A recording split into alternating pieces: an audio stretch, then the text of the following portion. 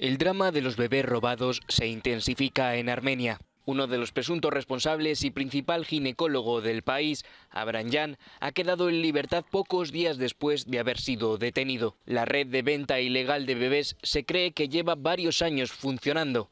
Hace casi dos décadas, madres como Suzan Patbakanian tenían que renunciar a sus hijos.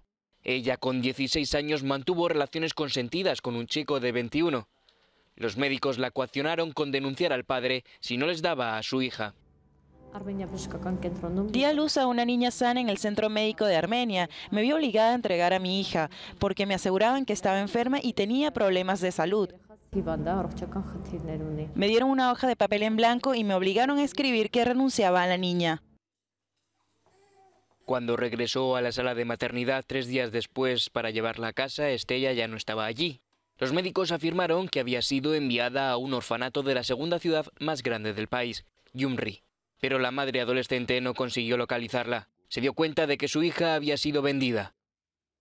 Es una de las decenas de víctimas de robos de bebés que ahora son objeto de una investigación oficial. Según el abogado de la víctima, Marat Kostanian, esta red es una mafia que ha transformado a Armenia en una incubadora de bebés. Un hecho terrible, destaca. La liberación del principal responsable de los robos ha indignado a la opinión pública. Según el abogado del principal acusado, su cliente sí que reconoce haber ayudado a Estella, pero las acusaciones son infundadas y absurdas. Justifica que tras 20 años no se puede acordar de todos los nacimientos en los que ha participado.